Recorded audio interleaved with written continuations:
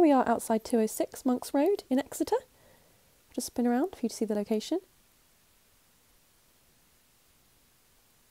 Mid-terraced three-bedroom property. First you come into the porch with window to front and switchboard cupboard with additional door opening into the entrance hall. This has stairs to the first floor and doors to all of the downstairs rooms.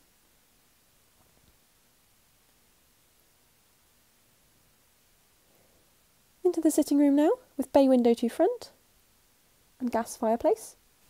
Next we have the dining room with double glazed window looking out over the rear garden along with another gas fireplace. Finally we have the kitchen. This has an understairs storage cupboard and a utility cupboard I'll show you here along with a door out onto the rear garden. Upstairs now onto the first floor landing with electric heater. First door on your right is into the bathroom. Bath with shower over. Next we have the master bedroom, look, overlooking the garden. A good sized double room with built-in wardrobes. Then we have the second bedroom, looking out over the front of the property.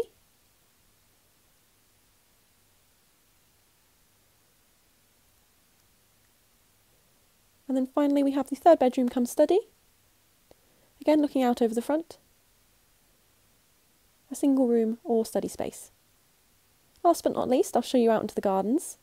Beautiful landscape gardens with seating area, lawn and planted borders, WC and storage shed, along with a pathway providing access down to the workshop.